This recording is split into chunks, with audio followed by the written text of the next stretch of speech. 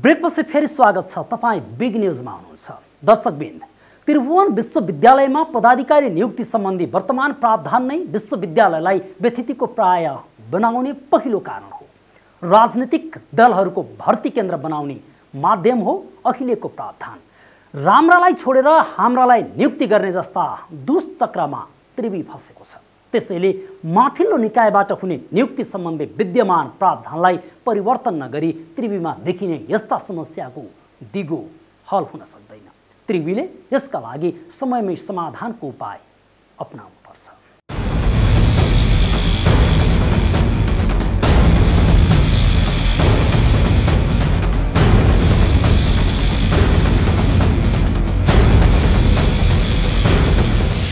त्रिवीको अहिलेको प्रावधानमा उपकुलपति रेक्टर र रजिस्ट्रार नियुक्ति गर्दा शिक्षा मन्त्री सहकुलपतिको सिफारिसमा मन्त्री परिषदले गर्छ। संस्थान वा संकायमा डिनहरू नियुक्त गर्दा रेक्टर कार्यालयको सिफारिसमा त्रिवी कार्यकारी परिषदले नियुक्ति गर्ने प्रावधान छ। यसरी पदाधिकारी नियुक्ति गर्दा शिक्षा मन्त्रीको सिफारिसमा मन्त्री परिषदबाट नियुक्ति गर्ने जुन प्रावधान छ यो नै त्रिवी जस्तो स्वायत्त संस्थाको लागि सुहाउने कुरा होइन। अर्कोतिर त्रिवीभित्रका डिन छनौट गर्दा माथिल्ला पदाधिकारीहरूले आफूले इच्छाएको व्यक्ति नियुक्त गर्ने प्रावधान पनि एउटा प्राज्ञिक संस्थाको लागि आफैमा अव्यवहारिक छ। स्वायत्त संस्थामा पदाधिकारी नियुक्ति गर्दा माथिल्लो निकाय वा मन्त्री परिषदबाट गर्ने नियम नै स्वायत्तताको मर्म विपरीत हो। यसले त्रिवीभित्र आन्तरिक स्वतन्त्रताको हनन गरेको छ। तर त्यसको मोनिटरिङ एडमिनिस्ट्रेसन चाहिँ भएन। त्यसले गर्दा एक ठाउँमा हर्डल भयो त्यहीँ रुकेको रुकै न त्यो हामीलाई कम्युनिकेट भयो र त्यो प्रब्लम आयो भने अब कुनै अनफोर्सिन अब एक्सटर्नल इन्भाइरोमेन्ट फ्याक्टरहरू हुन्छ जब थाहै छ। देशको कन्टेक्स्ट पनि कन्फ्लिक्टेको स्थितिमा छ।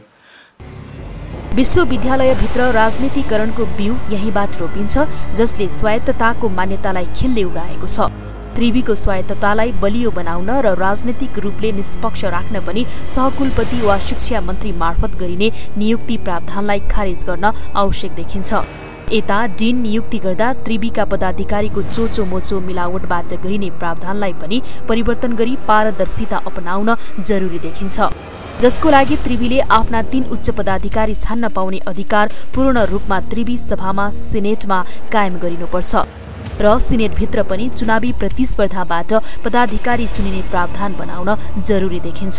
त्यस्तै त्योभन्दा तल्ला पदाधिकारीहरू डिन सम्बन्धित संस्थाका प्राध्यापकहरूको मतदानबाट छान्ने व्यवस्था गर्न आवश्यक छ।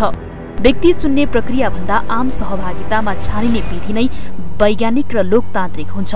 उपकुलपति रेक्टर रजिस्ट्रारलाई त्रिवी सभाका सदस्यहरूले मतदान गरी र डिनलाई सम्बन्धित संस्थानमा कार्यरत प्राध्यापकहरूको गोप्य मतदानबाट छान्न पाउने प्रावधान बनाएमा यसको सुधार हुन सक्छ।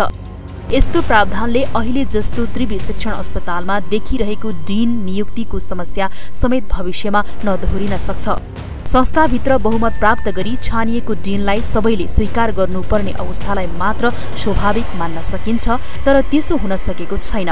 रेक्टरले छान्न पाउने र नियुक्त गर्न पाउने वर्तमान प्रावधानमा परिवर्तन नगरेसम्म समस्या दिगो हल हुने देखिँदैन। विधिको शासनमा बल दिने र दक्ष जनशक्ति उत्पादन गर्ने शैक्षिक क्षेत्रबाटै सुधारको प्रयास थाल्न जरुरी छ। जिम्मेवार हुन पर्यो र त्यो कुरा मैले इम्प्लिमेन्ट गर्न पर्यो। मैले भने नि सरलाई अघि नै बताएँ हामीहरूको क्षमता भएको सम्भावना यो हो। अब यसमा हामी काम गर्नुपर्छ हामी गर्दै पनि छौँ प्लान पनि बनाइरहेका छौँ। त्यो सरकारलाई सुनाउँछौँ पनि उहाँहरूले पनि त्यो कुरा बुझ्नु पऱ्यो उहाँहरूले के कुरा बुझ्नु पऱ्यो भने जति जति समृद्ध भएको देशहरू छ यो सबै ठाउँमा सोसा सोसियल कुरा के अरे सोसल साइन्सको कुरा के अरे एजुकेसनको कुरा त्यसपछि एडमिनिस्ट्रेसनको कुरा होइन यी सबै कुराहरू म्यानेजमेन्टको कुराहरू यी सबै कुरा जोडेर आउँछन्। त्रिवीको सुधारका लागि धेरै पटक माग भएको छ। धेरै पटक आवाज उठेको छ तर न त त्रिवी प्रशासन सुधारका लागि प्रयत्न गर्छ। राजनैतिक दलहरूले त त्रिवीमा पदाधिकारी र डिनहरू नियुक्त गर्न पाए के चाहियो? राजनीति गर्ने र आफ्नाहरूलाई जागिर पक्का गराइदिने काम सहज ढङ्गले हुने नै भयो। राजनीतिक हस्तक्षेपका साथै प्रशासकीय व्यथितिका कारण त्रिवी कमजोर बन्दै गएको तथ्यलाई सबैले बुझ्न जरुरी छ। क्यामेरा पर्सन ध्रुव अधिकारीका साथमा एबिसी रिपोर्टर सचिता बुढाथोकी काठमाडौँ।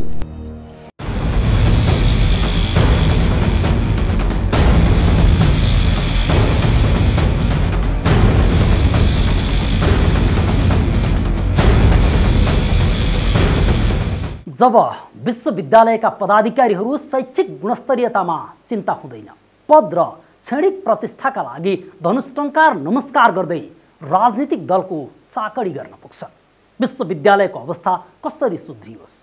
जब विश्वविद्यालयका पदाधिकारीहरू शिक्षक कर्मचारीहरू जागिर जोगाउनका लागि मात्र विश्वविद्यालयको हाजिरी रजिस्टरमा सही धस्काउँछन् विश्वविद्यालयको शैक्षिक अवस्था कसरी सुध्रियोस्? जब विश्वविद्यालयका विद्यार्थीहरू पढ्नमा भन्दा राजनीति गर्नमा तल्लीन हुन्छन् पढ्न चाहने विद्यार्थीहरूको आवाज सुनिँदैन?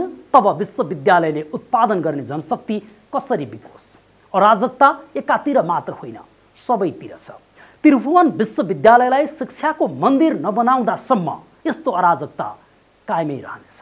अपरेसन आज सकिन्छ। भोलि अर्को बिग न्युजको अपरेसन गर्नेछौँ। गाउँ सहर दुनियाँ बिउझाउने हाम्रो अभियान जारी छ। तपाईँ एबिसी न्युज हेर्दै गर्नुहोला। नमस्ते।